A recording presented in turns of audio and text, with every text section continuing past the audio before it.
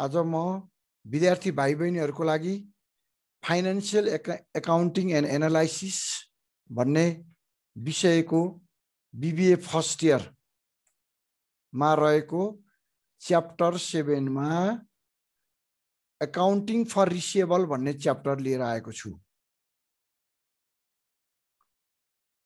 यसभित्र हामीले लर्निङ अब्जेक्टिभभित्र हामीले concept and nature of receivable types of receivable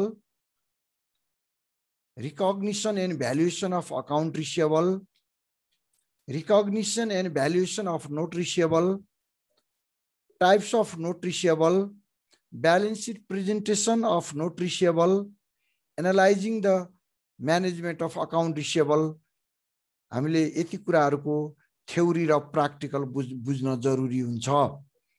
यसमा म तपाईँहरूलाई स्पेसल यो के हो त? अकाउन्टिङ फर रिसेबल भन्ने कुरामा म यहाँ केही लेख्न गइरहेको छु।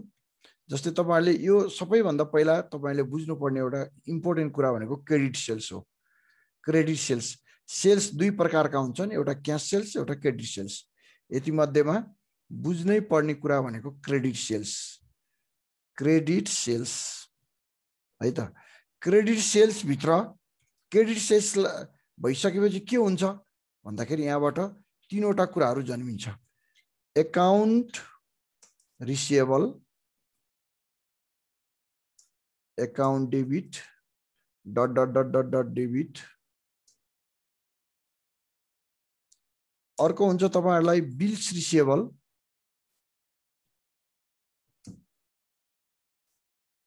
Account dot dot dot dot debit.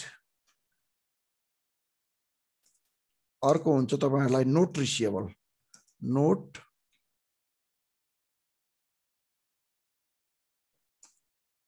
account dot dot dot DR debtors पनि लेख्न सकिन्छ। तर यो हामीले अहिले यहाँ डेटर्स युज नहुने हुनाले अनि to sales to sales account credit sales account credit ल यसरी हामी लेख्न सक्छौँ। है त? To sales account credit CR ल हेर्नुहोस्। अब यो भन्नुको अर्थ के हो भने यो क्रेडिट सेल्स हो। अकाउन्टिङ फर रिसिएबल भनेकै क्रेडिट सेल्स हो। क्रेडिट सेल्स भएर नै हामीलाई अकाउन्टिङ फर रिसिएबल हुन्छ। अब ल हेर्नुहोस् त यहाँनिर डेबिट जन्मियो। सबै तिनवटा पार्ट डेबिट जन्मियो। एउटा टु सेल्स चाहिँ क्रेडिट भयो। यो डेबिट भनेको के हो भने लिनु पर्ने छ लिन बाँकी छ। अथवा प्राप्य बिल भन्छौँ हामी यसलाई। अब यहाँ पनि तिनवटा छ। अकाउन्ट रिसेबल भनेको के हो? बिल्स रिसेबल भनेको के हो? नोट रिसेबल भनेको के हो? लिनु पर्ने त छ तर यसको पनि फरक फरक यसको डिफिनेसनहरू छ। जस्तै अकाउन्ट रिसेबल भनेको के हो भन्दा म एक एकवटा डिफाइन गर्छु। अकाउन्ट रिसेबल भनेको सेलरले बायरलाई क्रेडिटमा सामान बिक्री गर्छ। होइन त? तपाईँको के हुन्छ भन्दाखेरि सेलरले seller sells the goods sold the goods goods to buyer. Buyer बायरलाई on credit क्रेडिटमा क्रेडिटमा सामान बिक्री गर्छ। अनि यसले के गर्छ त? बिल काट्छ इन्भोइस बनाउँछ। होइन? इन्भोइस बनाउँछ इन्भोइस बनाउँछ। इन्भोइस बनाउँछ अनि सेलरले सामान दिन्छ। बायरलाई होइन? अब कति दिनको क्रेडिट दिन्छ उसले? साठी दिन। अब तपाईँको चाहिँ नब्बे दिन कति दिनको दिन्छ? यस्तो बेलामा स्पेसल त्यस्तो केही एग्रिमेन्ट गरिएको हुँदैन। मात्र सेलरले बायरलाई सामान बिक्री गर्छ। बायरले सामान सेलरबाट किन्छ अनि इन्भोइस लिएर आउँछ र अनि उसले चाहिँ अब क्रेडिट पिरियड हुन्छ त्यसको। जस्तै नाइन्टी डेज हुन्छ सिक्सटी डेज हुन्छ थर्टी डेज हुन्छ। त्यसमा पनि डिस्काउन्ट हुन्छ। फेरि त्यसलाई चाहिँ हामी अर्को ट्रममा चाहिँ हामी क्रेडिट ऊ पनि ट्रम पनि भन्छौँ जस्तै two by ten comma net thirty भन्ने हुन्छ। त्यस्तो गऱ्यो भने त्यसलाई अकाउन्ट रिसिएबल भन्ने। यस्तो सिम्पल यो मात्रै बन्यो भने यो चाहिँ अकाउन्ट रिसिएबल हेर्नुहोस् है त यो चाहिँ अकाउन्ट रिसिएबल भन्ने। यो चाहिँ अकाउन्ट रिसिएबल यस्तो सिम्पल यसमा ए एक्स्ट्रा एग्रिमेन्ट केही पनि गरिँदैन। त्यसमा एक्स्ट्रा एग्रिमेन्ट गरिँदैन भने त्यो चाहिँ के हुन्छ? सिम्पल चाहिँ तपाईँको ऊ हुन्छ। तपाईँको चाहिँ एकाउन्ट रिसिएबल हुन्छ। अब तपाईँको बिल्स रिसिएबल र नोट रिसिएबलमा चाहिँ अलिकति फरक हुन्छ। बिल्स रिसिएबल र नोट रिसिएबल हुनको लागि चाहिँ सेलरले सामान बिक्री गर्ने त हो बायरले सामान किन्ने पनि हो होइन? त्यसमा सेलरले सामान बिक्री गर्छ बायरले सामान किन्छ। त्यसमा प्रब्लम छैन तर त्यसमा एक्स्ट्रा कागज गरेको हुन्छ। एक्स्ट्रा कानुनी कागज गरिएको हुन्छ भने त्यसलाई चाहिँ हामी के भन्छौँ? बिल्स रिसिएबल र नोट रिसिएबल भनेर भन्छौँ हामी। छुट्टै एउटा कुनै कागज गरेको हुन्छ त्यतिखेर चाहिँ हामी बिल्स रिसिएबल र नोट रिसिएबल भन्छौँ। अब कस्तो अवस्थामा बिल्स रिसिएबल भन्छौँ? कस्तो अवस्थामा नोट रिसिएबल भन्छौँ भन्ने कुरा चाहिँ हामीलाई इम्पोर्टेन्ट हुन्छ। भन्दाखेरि हामीलाई चाहिँ कस्तो हुन्छ भने जस्तै अब बिल्स रिसिएबल र नोट रिसिएबल चाहिँ यसले यसमा चाहिँ स्पेसल एग्रिमेन्ट गरेको हुन्छ कि छुट्टै। बायर र सेलरको बिचमा फेरि एग्रिमेन्ट भएको हुन्छ यसमा चाहिँ। यसमा चाहिँ। यसमा चाहिँ एग्रिमेन्ट हुन्छ। है एग्रिमेन्ट हुन्छ। कस्तो एग्रिमेन्ट हुन्छ त बायर र सेलरको बिचमा हेर्नुहोस् त एग्रिमेन्ट हुन्छ है। स्पेसल एग्रिमेन्ट हुन्छ। जस्तै स्पेसियल एग्रिमेन्ट हुन्छ। एग्रिमेन्ट हुन्छ है त। बायर र सेलरको बिचमा। अब यहाँ चाहिँ सेलर हुन्छ। सेलरले हिसाब राख्छ भने त्यो चाहिँ बिल्स रिसिएबल हुन्छ। बायरले बायरले कागज गर्छ भने त्यो चाहिँ फेरि के हुन्छ? तपाईँको हेर्नुहोस् है यहाँनिर सेलरले राख्छ भने यो चाहिँ बिल्स रिसिएबल हुन्छ। यो चाहिँ बिल्स रिसिएबल हुन्छ। अनि तपाईँको बायरले कागज गर्छ भने चाहिँ नोट रिसिएबल हुन्छ। नोट हेर्नुहोस् यो यो इम्पोर्टेन्ट कुरा यो यति चाहिँ तपाईँहरूले एकदम ध्यान दिनु आवश्यक छ। नोट रिसिएबल बायरले पेपर साइन गरेको हुन्छ होइन? अनि सेलरले चाहिँ केमा गरे हुन्छ? बिल्स रिसिएबलमा साइन गरेर हुन्छ। हुन त यो यो सबै उधारकै बिक्रीको प्रोसेसको कुराहरू हुन्। तर यसमा चाहिँ स्पेसल एग्रिमेन्ट हुन्छ है? एकाउन्ट रिसिएबलमा स्पेसल एग्रिमेन्ट केही पनि हुँदैन जस्ट इनवाइस दिने र लिने हुन्छ। अब तपाईँको के हुन्छ भन्दाखेरि यो बिल्स रिसिएबललाई चाहिँ साउ अथवा क्रेडिटरले होइन?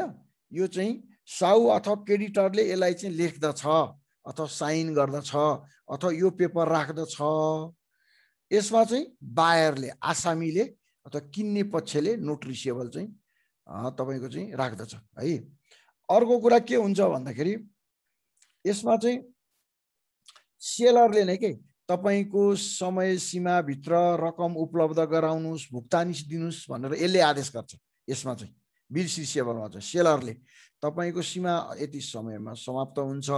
अब तपाईँले भुक्तानी गर्नुहोस् भनेर यसले यसमा आदेश दिएको हुन्छ भने यसमा चाहिँ के हुन्छ नोट रिसिएबलमा चाहिँ आसामीले नै यसलाई साइन गरेको हुन्छ। आसामीले नै यो म तिर्छु भनेको हुन्छ।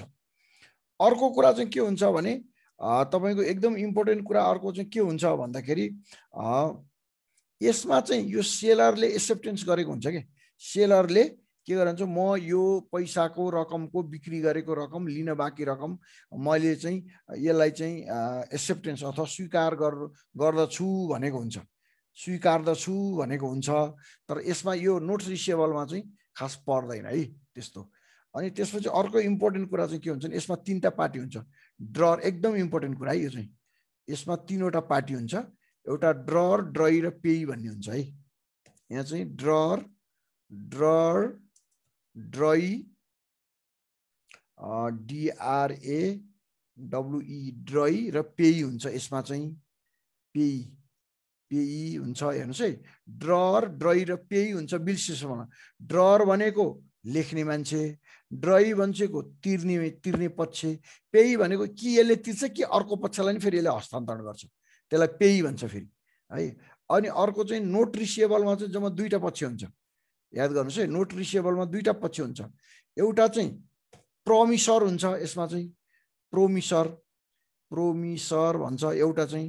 अनि अर्को एउटा चाहिँ त्यो पेई हुन्छ फेरि पेई हुन्छ। ल हेर्नुहोस् है यो इम्पोर्टेन्ट बुझ्नुहोस्। यसमा चाहिँ नोट रिसिएबल एउटा प्रोमिसर भनेको सेलर प्रोमिसर हुन्छ। अनि पेई चाहिँ के हुन्छ तिर्ने पक्ष हुन्छ। बाहिर चाहिँ तिर्छु भन्छ यसले होइन? अनि यसमा चाहिँ ड्रर भनेको लेख्ने पक्ष अथवा दिने पक्ष ड्रई भनेको तिर्ने पक्ष अथवा यसले तिरेन भने अर्कोलाई लगाइदिन्छ कि फेरि? यदि यसले तिरेन भने ड्रईले तिरेन भने यो पैसा चाहिँ फेरि यतापट्टि लगाएर अर्को पक्षलाई तैँले यो पैसा दिए भनेर भन्छ भने त्यसलाई पेई भन्छ। भनेपछि यसलाई यस यस्तो हुन्छ है त। ल अनि अर्को चाहिँ अब तपाईँहरूलाई यो त्यति इम्पोर्टेन्ट त छैन। प्रायः यो इन्टरनेसनल बाइङ सेलिङ छ भने यसमा तिन प्रति बनाउँछ इन्टरनेसनलमा चाहिँ।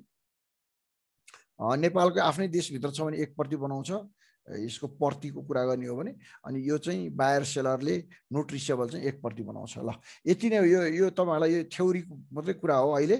यसमा मैले के डिफ्रेन्स भने credit sales account receivable bills receivable र नोट रिसिएबल यति यतिको मैले डिफ्रेन्सेस भने अरू कुराहरू पनि म तपाईँहरूलाई अब थ्योरी क्लासहरू योमा भन्दै जानेछु अनि प्र्याक्टिकलको त म छुट्टै भन्ने छु ल यति हुँदै अब तपाईँलाई म स्टार्ट गर्छु। अब यसको छ। अब ल हेर्नुहोस् है त अब तपाईँहरूलाई के छ? क्रेडिट टर्मबाट सुरु हुन्छ है। Explain about the possible term of credit credit term भन्छ के? यसलाई यसलाई क्रेडिट ट्रम भन्छ म तपाईँलाई यहीँबाट बुझाइदिन्छु है त क्रेडिट ट्रम भनेको के हो भनेर। म लेखेर बुझाइदिन्छु तपाईँलाई सजिलो हुन्छ त्यो पढ्नुभन्दा नि। क्रेडिट ट्रम भन्छ जस्तै सेलरले बायरलाई सामान बेच्छ होइन त? सेलरले के गर्छ? सेलरले बायरलाई सामान बेच्छ। Sell seller sold goods to buyer on credit. Goods to buyer on credit होइन त? क्रेडिटमा सामान बेच्छ। क्रेडिट भनेको उधारोमा सामान बेच्छ। अन क्रेडिट सामान बेच्छ। अब त्यसले के गर्छ? इन्भोइस त काट्छ बिल काट्छ सिम्पल।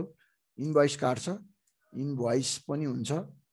तर यसले एउटा फेसिलिटी चाहिँ के दिएको हुन्छ भने एउटा ट्रम चाहिँ के हुन्छ भने त्यसलाई भनिन्छ क्रेडिट ट्रम है त। क्रेडिट ट्रम भन्छ त्यसलाई क्रेडिट ट्रम। ट्रम चाहिँ कस्तो हुन्छ भने जस्तै टु बाई जस्तै त्यहीँ छ होला कुनै। Two by ten net thirty जस्तै टु बाई टेन अनि कमा नेट थर्टी भन्यो भने के हुन्छ भने हेर्नुहोस् त यति पोइन्ट हेर्नुहोस् त क्रेडिट टर्मको यसमा के भनिएको हुन्छ भने सेलरले सामान कसलाई बेच्छ? बायरलाई बेच्छ। उधारोमा बिक्री गर्छ अनि त्यसले इन्भोइस काट्छ। अनि तिस दिनभित्र नेट थर्टी भनेको चाहिँ तिस दिनभित्र बुझाउनु पर्छ है भनेको यो। यो क्रेडिट पिरियड हो। होल पिरियड चाहिँ तिस दिन हो। तिस दिनभित्र बुझाउनु पर्छ है भनेको हुन्छ सेलरले।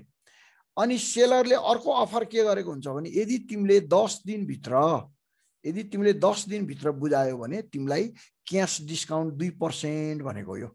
Two percent cash discount within ten days भनेको है यो। यो भनेको चाहिँ के हो भन्दाखेरि टु पर्सेन्ट क्यास डिस्काउन्ट यो भनेको चाहिँ two percent two percent cash discount offer cash discount offer discount offer within within the ten days दस दिनभित्रमा तिमीले पैसा बुझायो भने त्यो बायरलाई भनेको सेलरले यदि तिमीलाई चाहिँ दुई पर्सेन्ट क्यास डिस्काउन्ट हुन्छ है भनेको यही हो। यदि फेरि एघार दिनमा बुझायो भने हुँदैन। एघारदेखि तिस दिनभित्रै बुझायो भने चाहिँ यसले फुल पैसा पेमेन्ट गर्नुपर्छ बायरले सेलरलाई। ल यो क्रेडिट टर्म भनेको यही हो। अब यहाँ क्रेडिट लिमिट भनेको अब कति पैसा बिक्री गर्ने भन्ने कुरा भइहाल्यो। क्रेडिट टर्म अहिले मैले भनेको यही हो यी। होइन? अनि यसमा सेल्स डिस्काउन्ट र ट्रेड डिस्काउन्ट भन्ने पनि बुझ्न आवश्यक छ है। सेल्स डिस्काउन्ट भनेको चाहिँ त्यो बायर र सेल सेलरको बिचमा ऊ हुन्छ तपाईँको चाहिँ के हुन्छ त्यो बार्गेनिङ हुन्छ होइन? बार्गेनिङ हुन्छ। अनि सेल्स गर्ने बेलामा घटाइदियो भने चाहिँ सेल्सको रकममा घटायो कि? जस्तै मैले दस हजार दस हजार दस हजार भनेको थिएँ कुनै सामानलाई। अनि मैले चाहिँ नौ हजार पाँच सयमा दिएँ भने त्यसलाई भन्छ सेल्स डिस्काउन्ट। सेल्स रेभेन्यू अमाउन्टमा घटाउँछ भने त्यो चाहिँ सेल्स डिस्काउन्ट हुन्छ। ट्रेड डिस्काउन्ट भनेको चाहिँ फेरि टोटल बिल बनाउँदै जाँदा जस्तै सामानको बिल बनाउँदै जान्छ। सुन्दा उस्तो उस्तै सुनिन्छ है सामानको बिल बनाउँदै जान्छ होइन एउटा जस्तो सेल्स इन्भोइस बनाउँछ यहाँनिर मानिलिनुहोस् एउटा सेल्स इन्भोइस बनाउँछ। अनि यहाँनिर चाहिँ अनि तपाईँको सामानको बिल बनाउँदै जान्छ बिल बनाउँदै जान्छ बनाउँदै जान्छ होइन टोटल सेल्स इन्भोइस। अनि टोटल जोडेर टोटल जोडेको अमाउन्ट जस्तै मानिलिनु आठ हजार आयो भने फेरि यहाँ दस पर्सेन्ट डिस्काउन्ट दियो भने यो चाहिँ ट्रेड डिस्काउन्ट है। आठ हजार आयो अब यहाँ टेन पर्सेन्ट दियो यसले डिस्काउन्ट मानिलिउँ टेन पर्सेन्ट यसले डिस्काउन्ट दियो भने अब ए टेन पर्सेन्ट भनेको एट हन्ड्रेड भयो यसको। होइन त? एट हन्ड्रेड भयो। एट हन्ड्रेड भनेको चाहिँ यो चाहिँ ट्रेड डिस्काउन्ट हो। टोटल इन्भोइस प्राइजमा है त? यसरी बुझ्ने।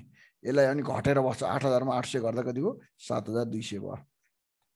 ल तपाईँहरूलाई यो यति चाहिँ तपाईँहरूले थ्योरी बुझ्नु होला है त? एकदम इम्पोर्टेन्ट कुरा यसमा चाहिँ तपाईँको क्रेडिट यो क्रेडिट टर्म नै इम्पोर्टेन्ट हुन्छ है। सबैभन्दा बढी चाहिँ। क्रेडिट टर्म चाहिँ इम्पोर्टेन्ट हुन्छ। अब यति भइसकेपछि अब वाट इज ब्याड डेप्ट भनेको छ।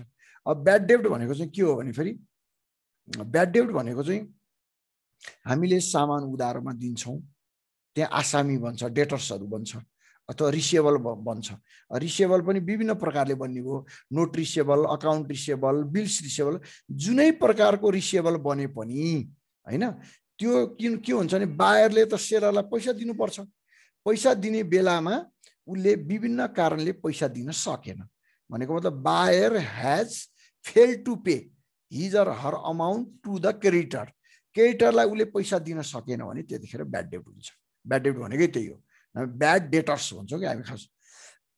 फुल फर्म भन्नुपर्दा ब्याड डेटर्स लिनुपर्ने पक्ष कमजोर भयो ब्याङ्क्रप्सी भयो अथवा टाट पल्टेर भाग्यो अथवा तपाईँको चाहिँ उसको बिजनेस डुब्यो अथवा उसले नियतले नै तिरेन भने के गर्छ? सेलरले के गर्छ? ब्याड डेप्ट अकाउन्ट रेज गरेर अनि उसले राइट अफ गर्छ। र ब्याड डेप्ट भनेको त्यही हो। अब तपाईँलाई अर्को इम्पोर्टेन्ट कुरा छ। एक्सप्लेन एबाउट डाउटफुल डेप्ट अब यो डाउटफुल डेप्ट र ब्याड डेप्टमा अलिकति फरक छ है। डाउटफुल डेप्ट भनेको चाहिँ भविष्यमा मैले बिक्री गरेको सामानमा सामानमा मेरो डेटर्स अथवा मेरो रिसिएबल यदि टाट पल्ट्यो भने अथवा तिर्न सकेन भने भनेर चाहिँ उसले शङ्का गर्छ। शङ्का गरेर उसले जस्तै टु पर्सेन्ट फाइभ पर्सेन्ट कति हो? उसले चाहिँ के गर्छ? डाउटफुल रिजर्भ गर्छ। डाउटफुल डेप्ट भनेर छुट्याउँछ भने त्यसलाई चाहिँ डाउटफुल डेप्ट भनिन्छ। सिम्पली भाषामा है यो डाउटफुल डेप्ट भनेको त्यही हो। डाउटफुल डेप्ट भनेको चाहिँ उसले के गर्छ? शङ्का गर्छ। अथवा उसले चाहिँ त्यो त्यो पैसा दिन सक्दैन होला। उसले भन्ठान्छ। भनौँ न भन्ठान्छ भनौँ न। भन्ठान्छ भने त्यसलाई चाहिँ डाउटफुल डेप्ट भनिन्छ सिम्पल भाषामा। ल यो यति नै हो है त। क्लियर छ यसमा? यो थ्योरी पार्ट भयो त्यसले गर्दा तपाईँहरू क्लियर हुनुहोस्। अब अर्को इम्पोर्टेन्ट कुरा छ। यसको अर्को इम्पोर्टेन्ट कुरा चाहिँ हेर्नुहोस् त एलाउन्स फर डाउटफुल डेप्ट भनेको के हो भन्ने कुरा छ। Allowance for doubtful dept allowance for doubtful डेप्ट भनेको के हो? है त यहाँनिर allowance for doubtful debt. Allow allowance for doubtful debt.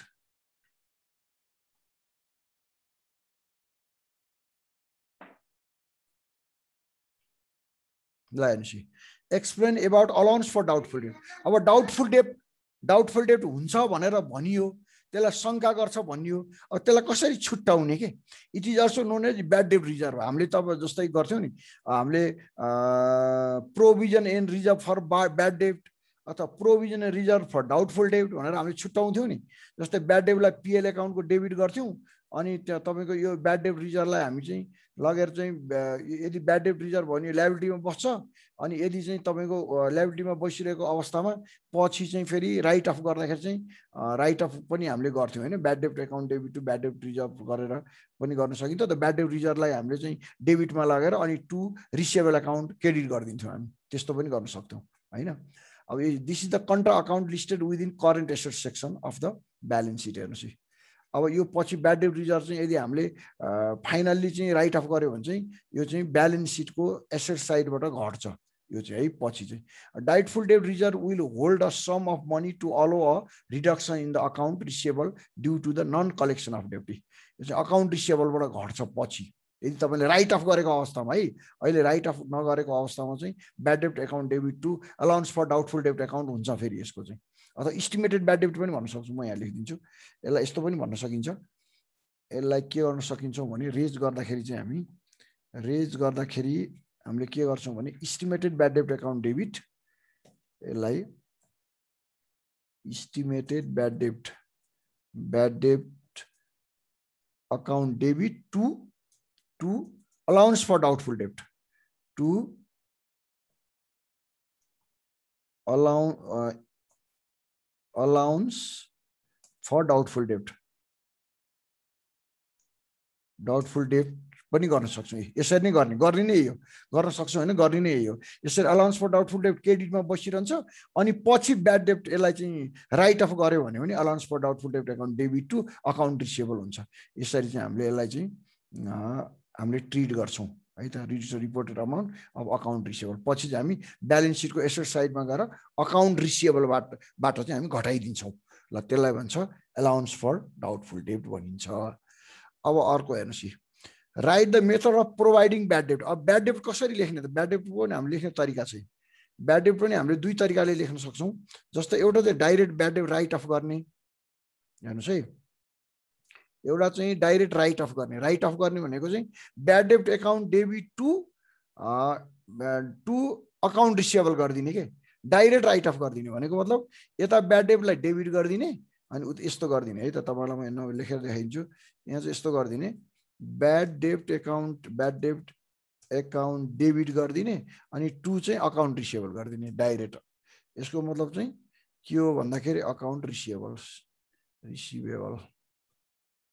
यसको भनेको चाहिँ के भने ब्याड डेप्ट पिएल एकाउन्टमा डेबिट भयो अब अकाउन्ट रिसिएबल क्रेडिट हुनु भनेको चाहिँ अकाउन्ट रिसिएबलबाट ब्याड डेप्ट घट्छ। ब्याड डेप्ट घट्छ। त्यसरी चाहिँ तपाईँको चाहिँ यो चाहिँ यो एकाउन्ट रिसिएबल क्रेडिट भएपछि त्यहाँबाट घट्ने भयो अनि यसलाई चाहिँ यो भयो है। अब अर्को एउटा चाहिँ मेथड के छ भन्दाखेरि तपाईँको हेर्नुहोस् है यहाँ हेर्नुहोस् है यहाँ यसले त्यही दियो। यति यसले लामो भए पनि यो कुरा यही हो। Bad dept expenses account debit to account receivable direct गर्ने राइट अफ गरिदिएको यो डाइरेक्टली यो ब्याड डेप्ट पिएल एकाउन्टमा डेबिट हुन्छ अकाउन्ट रिसिएबल क्रेडिट भनेको एकाउन्ट रिसिएबलबाट घट्छ ब्याड डेप्ट घट्छ। अर्को एउटा मेथड छ फेरि अलाउन्स मेथड भन्छ अर्को चाहिँ। अलाउन्स मेथड भनेको चाहिँ ब्याड डेप्ट एकाउन्टबाट अकाउन्ट रिसिएबलमा नजाने के? ब्याड डेप्ट एकाउन्टबाट अहिले मैले यहाँ गरेको थिएँ यही हो यो माथिको ब्याड डेप्ट एकाउन्टबाट चाहिँ अलाउन्स फर डाउटफुल डेप्ट एकाउन्टमा जाने। है यो चाहिँ फेरि यो मेथड चाहिँ है। यो यहाँनिर तपाईँको छ है यहाँनिर। एलाउन्स मेथड भन्ने छ। यो एलाउन्स मेथडमा चाहिँ के हुन्छ भन्दाखेरि तपाईँको ब्याड डेप्ट एकैचोटि अकाउन्ट रिसिएबलमा जाँदैन। ब्याड डेप्ट कहाँ जान्छ? अलाउन्स फर डाउटफुल डेटमा जान्छ है। अलाउन्स फर डाउटफुल डेटमा हेर्नुहोस् है त्यही। अब यहाँनिर भनेपछि an estimated is made the amount of bad dept at the end of each physical year होइन त? Each physical year this is accumulated in a provision allowance which is use to reduce specify receivable account receivable account as the when necessary based on its collection experience with its credit customer of business record bad debt expenses before individual specific receivable are identified as being uncollectible. Thus, business estimated its bad debt expenses before declaring the bad debt return of ल हेर्नुहोस् है यो allowance मेथडमा चाहिँ के हुन्छ भने direct पहिला bad डेप्ट गरिँदैन के ब्याड डेप्ट राइट अफ गरिँदैन। पहिला के गरिन्छ? इस्टिमेटेड ब्याड डेप्ट टु अलाउन्स फर डाउटफुल डेप्टमा लगिन्छ। अनि लगिन्छ लगेर राखिराखिन्छ पछि ब्याड डेप्ट रिटर्न अफ भयो भने चाहिँ अनि फेरि तपाईँको के गरिन्छ? Allowance for doubtful dept account debit to account disable गरेर अनि हिसाब मिलान गरिन्छ। र एउटा दुईवटा मेथड हुन्छ। ब्याड डेप्टको यो तपाईँले थाहा पाइहाल्नुभयो। अब तपाईँहरूलाई फेरि त्यो क्रेडिट टर्मको कुरा आयो। अहिले मैले देखाइसकेको थिएँ क्रेडिट टर्मको। यो यही हो क्रेडिट टर्मको चाहिँ के हुनु यो बुझ्न पनि आवश्यक छ। यो टु मार्क्सको पनि सोध्न सक्छ। यो तपाईँहरूलाई कति भने टु मार्क्सको सोध्न सक्छ यो। यतिबाटै बुझिन्छ यो धेरै पढ्नै पर्दैन हामीले। यसबाटै बुझिन्छ। यहाँबाटै बुझिन्छ यतिबाटै। यो भनेको चाहिँ के हो भने सेलरले बायरलाई सामान बेच्यो। त्यसलाई टोटल साठी दिन टाइम दियो। सिक्सटी दिन। सिक्सटी डेज है? साठी दिन हो यो। सिक्सटी दिनको चाहिँ त्यसलाई क्रेडिट पिरियड दियो। Credit period. क्रेडिट पिरियड भनेको क्रेडिट अघि हामीले पढाएको थियौँ नि कतिवटा हुन्छ क्रेडिट पिरियड पिरियड हुन्छ ऊ हुन्छ भनेर पढाएको थियो नि डेज है त्यो। साठी दिनको चाहिँ हामीलाई यसलाई चाहिँ सामानको उधारोको टाइम दियो। तर उसलाई के भन्यो? तैँले बिस दिनभित्र ट्वेन्टी डेजभित्रमा पैसा लिएर आइस भने बायर होइन बिस दिनभित्रमा पैसा बुझाइस् भने ट्वेन्टी डेज है यो। ट्वेन्टी डेज फेरि एक्काइस दिन हुँदैन नि। ट्वेन्टी डेजै हुन्छ झुकाउन सक्ला। ट्वेन्टी डेजभित्र तँलाई तिन पर्सेन्ट क्यास डिस्काउन्ट दिन्छु भनेको ल। तिन पर्सेन्ट क्यास डिस्काउन्ट। यस्तो बेलामा जरल कस्तो हुन्छ है म तपाईँहरूलाई बनाइदिन्छु। मानिलिउँ तपाईँले दस हजारको सामान बिक्री गर्नुभएको छ। है त। दस हजारको सामान बिक्री गर्नुभएको छ र तपाईँलाई उसले बिस दिनभित्र पैसा दिन आयो भने है बिस दिनभित्र पैसा दिन आयो भने मानौँ है एज्युम्सन हो यो। ट्वेन्टी डेजमा ट्वेन्टी डेजभित्र पैसा दिन आयो। ट्वेन्टी डेजमा मनी रिसिभ भयो भने कस्तो जर्नल बन्छ है त? मनी मनी रिसिभ भयो भने एकछिनलाई हेर्नु होला।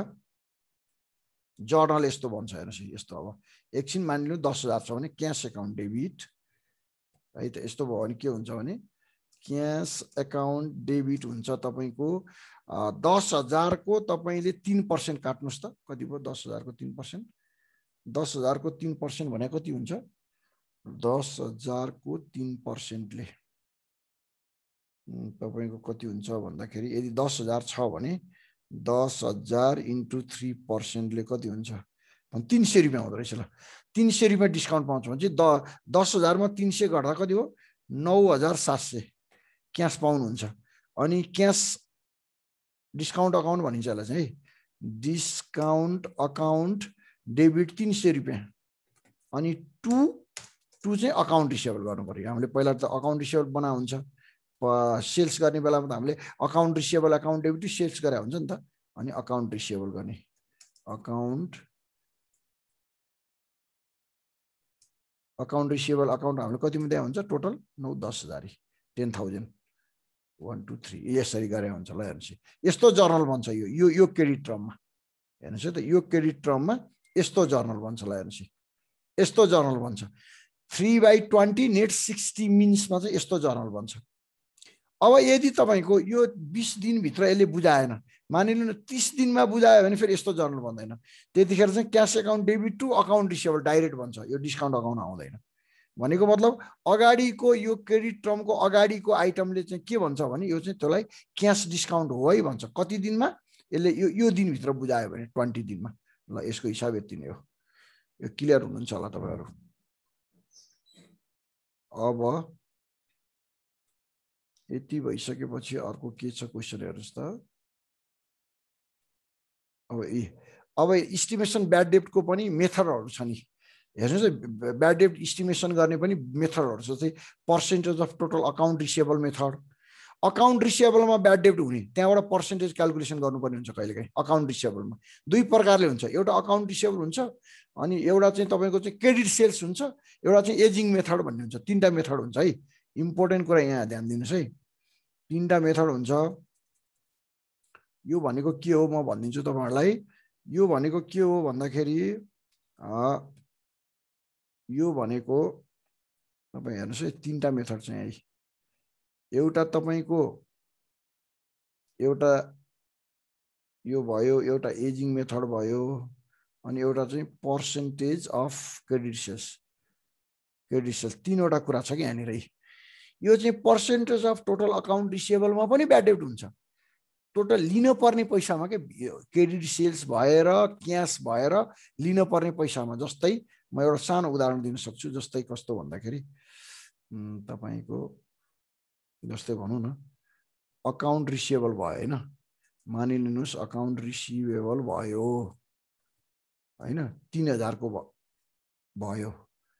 तिन हजारको भयो। अनि क्यास एकाउन्ट पनि आयो। क्यास एकाउन्ट पनि तपाईँको दुई हजारको भयो। भनेपछि सामान कतिको बेचेर छ तिन र दुई पाँच हजारको बेचेको छ टु सेल्स होइन त? टु सेल्स टु सेल्स चाहिँ तपाईँको कति? पाँच हजारको सामान बेच्यो। है पाँच हजारको सामान बेच्यो हेर्नुहोस् पाँच हजारको सामान बेच्यो उसले क्यास पैसा दुई हजार दियो एकाउन्ट रिसिएबल लिनुपर्ने पैसा तिन हजार छ। भने अब तिन हजार चाहिँ तपाईँको के हो त? अकाउन्ट रिसिएबल हो कि? हो अब यहाँभित्र ब्याड डेट भयो भने यहाँभित्र नि ब्याड डेट हुन्छ यसले पैसा तिर्नु भने त ब्याड डेट हुने त यहीँभित्र त हो नि। ल हेर्नुहोस् त ब्याड डेट एउटा भयो। यो एउटा यस्तो केस। अर्को केस चाहिँ के भनेको छ फेरि यहाँ? पर्सेन्टेज अफ क्रेडिट सेल्स भनेको चाहिँ क्रेडिट सेल्समा के? डाइरेक्ट क्रेडिट सेल्समै अब यहाँ चाहिँ के हुन्छ? यस्तो बेलामा चाहिँ जर्नल कस्तो बन्छ? भन्दाखेरि यहाँ चाहिँ अकाउन्ट रिसिएबल होइन अकाउन्ट रिसिएबल अकाउन्ट डेबिट होइन टु सेल्स भयो। टु सेल्स भयो। टु सेल्स भयो ल यहाँनिर। टु सेल्स भयो। टु सेल्स भयो भने अब के भयो? यहाँ त डाइरेक्ट तपाईँको चाहिँ एकाउन्ट रिसेबल क्रेडिट सेल्स हो कि? भने हो यसमा चाहिँ फेरि पर्सेन्टेज ब्याड डेट हुने सम्भावना हुन्छ भने यसलाई चाहिँ फेरि percentage of credit sales method भनिन्छ। हेर्नुहोस् है त यो हामीले प्र्याक्टिसमा गर्छौँ। अब अर्को इम्पोर्टेन्ट कुरा यो चाहिँ अकाउन्ट रिसिएबल क्यास पाइसकेको अकाउन्ट रिसिएबल यो चाहिँ क्रेडिट सेल्स रिसिएबल है। अकाउन्ट रिसिएबल त अकाउन्ट रिसिएबल हो तर क्रेडिट सेल्स रिसिएबल हो। फुल अमाउन्टमा हुन्छ। यहाँ चाहिँ यहाँ चाहिँ पाउनु पर्ने अमाउन्टमा मात्रै हुन्छ। अब एजिङ मेथड भनेको चाहिँ के हो? एजिङ मेथड एकदम इम्पोर्टेन्ट छ है। तपाईँको एजिङ भनेको चाहिँ अब लामो समयसम्मको के? यति दिनबाट यति दिनसम्म जस्तै तपाईँको भनौँ न तपाईँको चाहिँ कति समयदेखि कति समयसम्मको? अब जस्तै मानिलिउँ न अब जस्तै जस्तै एकतिस दिनदेखि साठी दिनसम्मको ब्यालेन्स कति पर्सेन्ट उठ्दैन मानिलिउँ होइन? यस्तो हुन्छ यो यसको चाहिँ डाटा हुन्छ है। जस्तै मानिलिउँ न तपाईँको एकतिस दिनदेखि म एउटा मात्रै उदाहरण दिन्छु है ल यसलाई जस्तै एकतिस दिनदेखि दिनदेखि अनि तपाईँको चाहिँ के भन्दा साठी दिन भयो होला मानिलिनुहोस्। साठी दिन होइन? एकतिस दिनदेखि साठी डेज भयो होइन? डेजमा कति पैसा उसको ब्यालेन्स थियो भन्दाखेरि दुई हजार थियो। दुई हजार थियो। कति पर्सेन्ट उसलाई चाहिँ पैसा नउठ्ने सम्भावना छ भने एक पर्सेन्ट ल भन्नुहोस् न। एक पर्सेन्ट एक पर्सेन्ट पैसा नउठ्ने सम्भावना भयो। अब अब दुई हजारको एक पर्सेन्ट निकाल्नुहोस् त कति हुन्छ? दुई हजारको एक पर्सेन्ट भनेको कति? बिस रुपियाँ कि दुई रुपियाँ? दुई हजारको इन्टु वान पर्सेन्ट पर्सेन्ट भन्दाखेरि बिस रुपियाँ। ल ट्वेन्टी रुपिज भयो। ट्वेन्टी रुपिज भयो। अब यस्तै अर्को अब अब एकसट्ठी दिनबाट नब्बे दिन भन्नुहोस्। एकसट्ठी दिनदेखि नाइन्टी डेज होइन? नाइन्टी डेज भन्नुहोस्। नाइन्टी डेजमा तपाईँको कति छ फेरि? तपाईँको चाहिँ एक हजार छ मानिलिनुहोस् न। एक हजार छ। एक हजार छ होइन? एक हजार छ यसको चाहिँ दुई पर्सेन्ट। न नउ उठ्न नसक्ने पैसा है त्यो चाहिँ दुई percent.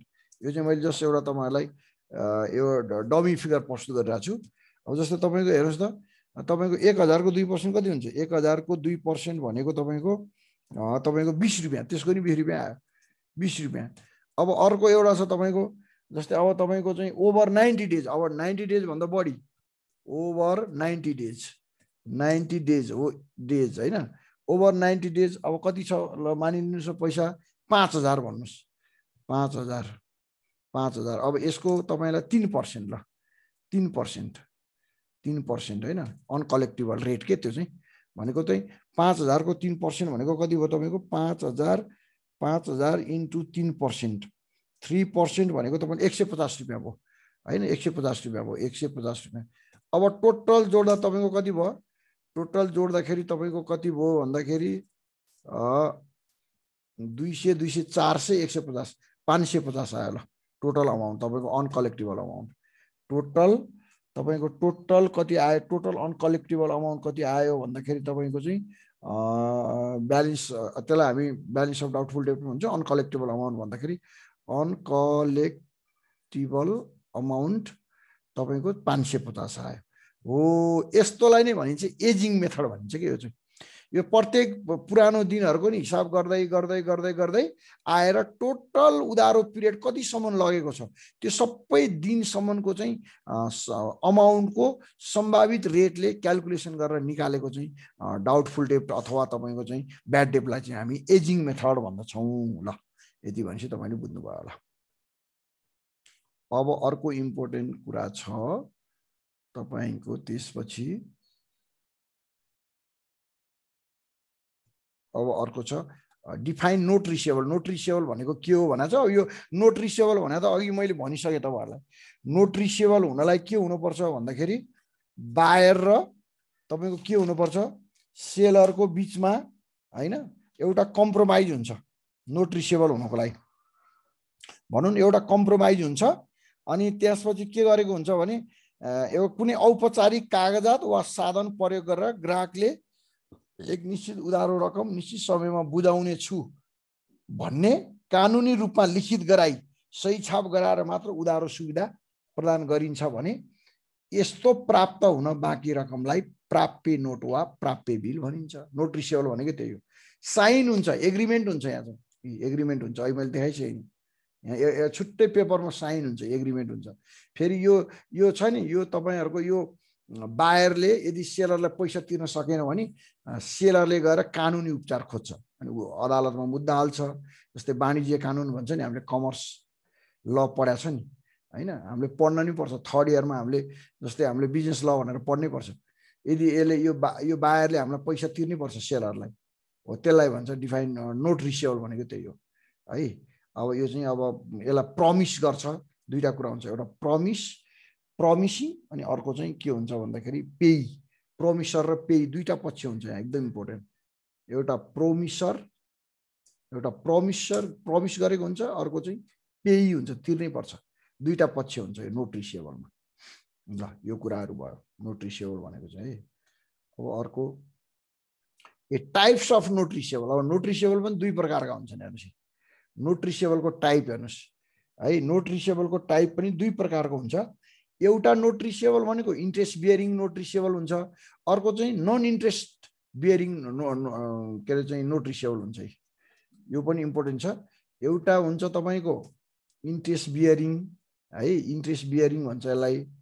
Interest bearing note receivable भनेको चाहिँ यो हेर्नुहोस् है यहाँनिर इन्ट्रेस्ट बियरिङ नोट रिसेबल है। Interest bearing note note receivable interest bearing notes are those notes in which the rate of interest is explicitly तोकिएको हुन्छ के? मेन्सन अन द नोट नोटमै यति पर्सेन्ट भन्ने हुन्छ। Note receivable almost always require interest अनि त्यो जति समयसम्म उधारो चलायो नि त्यो उधारो चलाएको समयसम्मको चाहिँ इन्ट्रेस्ट चाहिँ यो चाहिँ बायरले सेलरलाई बुझाउँछ। अनि त्यसलाई चाहिँ तपाईँको चाहिँ जर्नल पनि राखिन्छ। अक्रुड इन्ट्रेस्ट भनेर राखिन्छ हामीले जर्नलमा पाउनुपर्ने इन्ट्रेस्ट भनेर पनि बनाइन्छ। है त्यस्तो हुन्छ यो चाहिँ। होइन allow interest the interest earn for the period is recorded as income अब accrued income account debit to अनि तपाईँको चाहिँ के भन्छ इन्ट्रेस्ट रेभेन्यू अकाउन्ट भनेर यहाँनिर तपाईँको चाहिँ जर्नल बनाइन्छ। यस्तोलाई चाहिँ इन्ट्रेस्ट बेरिङ नोट भनिन्छ है त? यस्तो जर्नल पनि यस्तो हुन्छ है। म जर्नल पनि यहाँ बनाइदिन्छु नभए। जर्नल कस्तो हुन्छ भने यसलाई accrued interest A C C R U D accrued interest account debit interest account debit to to interest revenue to interest revenue account revenue revenue account भनेर यस्तरी हो यस्तो जर्नल भन्छ यस्तै। यस्तो यसको ब्याज क्यालकुलेसन हुन्छ। कति अवधि हो? त्यो अवधिको हामीले पत्ता लगाउँछौँ त्यहाँ डेज गन्छौँ अथवा मन्थली हुन्छ कि डेज हुन्छ त्यो गनेर अनि हामीले त्यसको इन्ट्रेस्ट क्यालकुलेसन गर्छौँ। अर्को चाहिँ non interest bearing discounted notes भन्छ यसलाई चाहिँ। Non interest bearing notes is an agreement in which rate is interest is not explicitly भनेको तोकिएको हुँदैन रेट हुँदैन होइन? यसमा चाहिँ mention but it is implied always in the principal sum अनि त्यहाँबाट यसमा चाहिँ इन्ट्रेस्ट रोड चाहिँ हुँदैन सम इन्ट्रे प्रिन्सिपल समबाट मात्रै दौडिन्छ। है अब यस्तो अनि यस्तो यो माथिको चाहिँ इन्ट्रेस्ट बेरिङ लेख्दा चाहिँ प्रायः यस्तो लेख्छ है। जस्तै तपाईँको नाइन पर्सेन्ट यस्तो हेर्नुहोस् है। यहाँनिर नाइन पर्सेन्ट नाइन पर्सेन्ट होइन? Nine nine percent note receivable notes receivable सिआइबिएबिएलई यस्तो लेखा हुन्छ अनि टु सेल्स यस्तो लेखा हुन्छ। यस्तो इन्ट्रेस्ट बियरिङमा चाहिँ टु सेल्स यस्तो गरेर हुन्छ है। टु सेल्स यस्तो गरेर हुन्छ ल हेर्नुहोस् यो इन्ट्रेस्ट बियरिङमा है यो माथिको यस्तोमा।